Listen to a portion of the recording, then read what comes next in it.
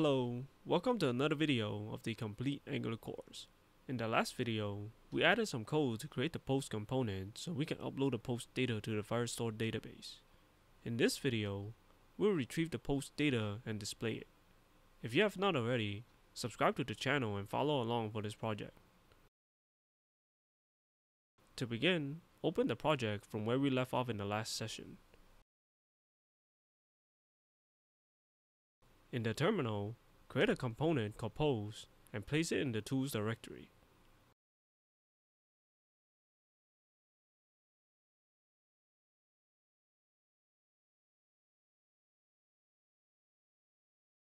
Go to the post component HTML page and add a mat card element.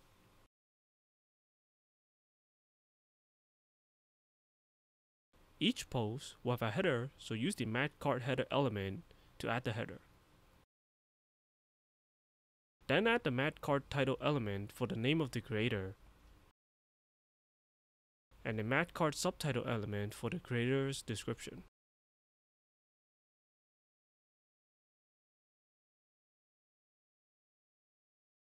After that, each post may have an image, so add an image element and apply the mat card image directive to it, so it will use the styles from Angular material. For the source of the image, use the home background image that was added earlier in the project as a placeholder.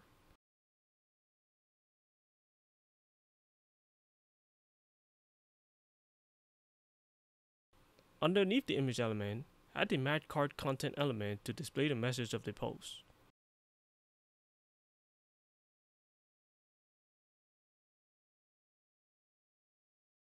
Lastly, add the mat card actions element for the action items. Add three material icon elements to represent our actions.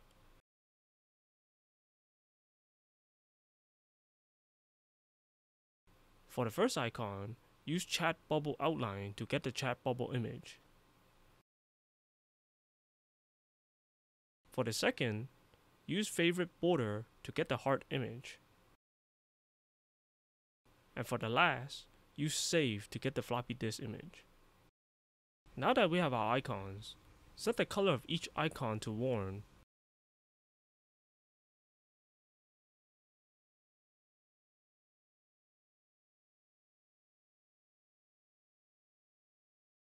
And then apply the action item class.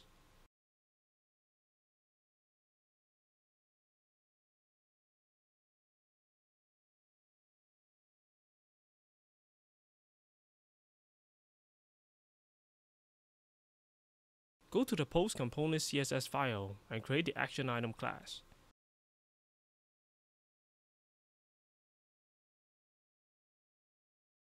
For each item, set the left margin to 0.5em so the icons will be separated, and the cursor to pointer. Go to the post component TypeScript file, get the value of the selector and add it to the post feed component HTML page.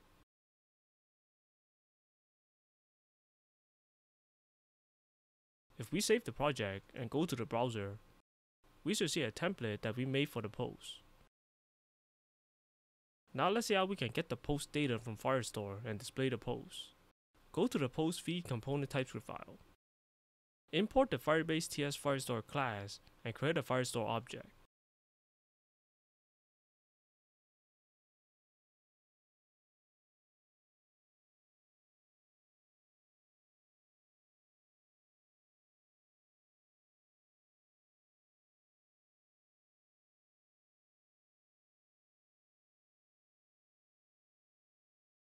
Define a function called getPost.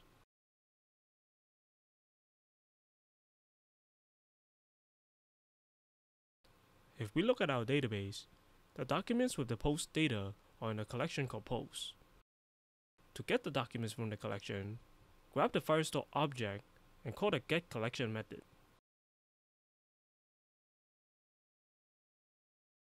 The method takes in an object with up to four properties. The first property is path. It is an array to indicate the location of the collection. Since we want to access the post collection, we will put post for the first element in the array.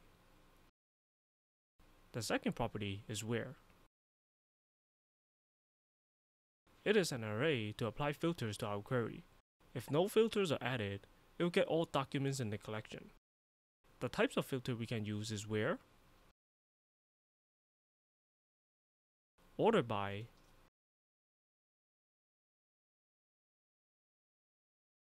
and limit. If we want to get all the posts from a specific user, we will put the creator ID in the first parameter to represent the view that we want to use for this filter.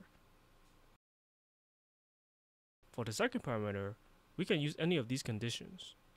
Since we want to get all the posts from a specific creator, choose the double equal symbol. For the last parameter, we will put the value that we want to use for the match.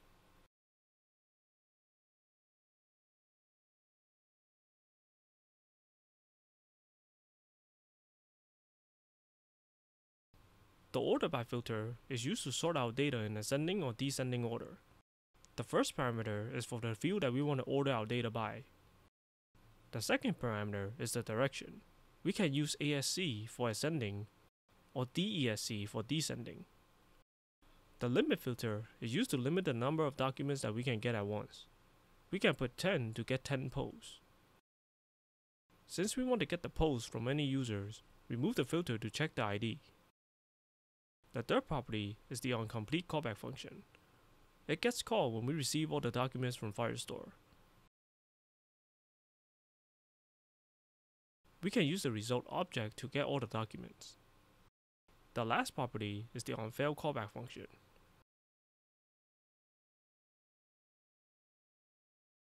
It gets called when something went wrong during the retrieval process. Now that we have a function to get the post, we can create an interface for the data that we're retrieving. At the end of the class definition, define an interface called postData.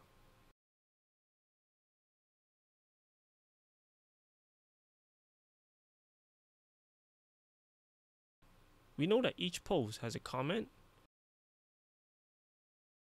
and a creator ID. It may also contain an image URL to represent the image of the post. Since it is an optional field, we need to put a question mark symbol before the colon. Make sure that each field in the interface matches the field names in Firestore. Go back to the class and create an array called post for the post data.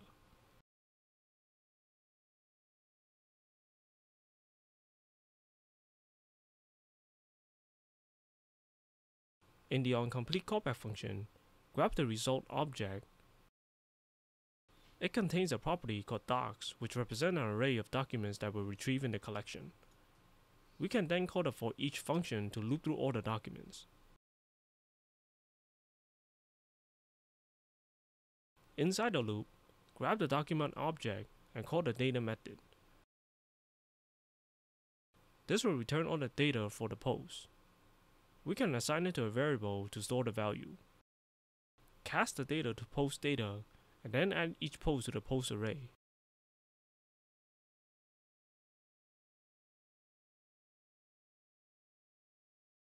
Lastly, go to the ng on init method and call the getPost method.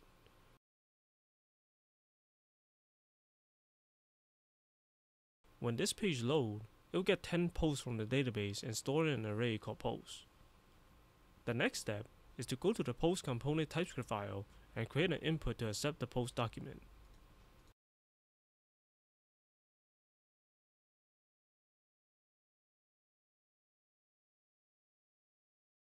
Go to the post component HTML page and use interpolation to replace the static value from the post image with the image URL from the post document.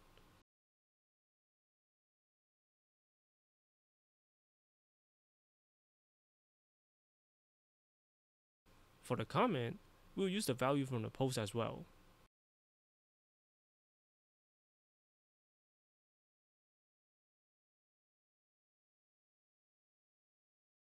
Go to the post feed component HTML page. Inside the post component element, use the ng-for directive and loop through all our posts.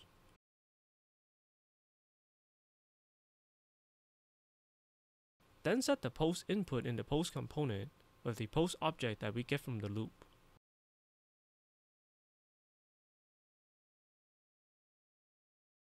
If we save the project and go to the browser, we'll see some of our posts. If you notice, each post is taking up the whole width of the window. This can cause the image to be large. Go back to the post feed component HTML page. Wrap the post component with a div element and give it a name called post feed.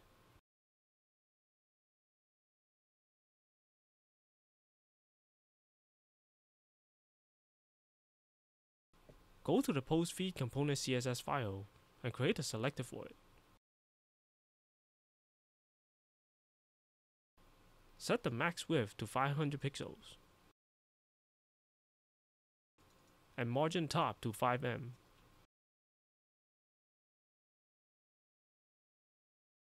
Lastly, center the post by setting the left and right margins to auto.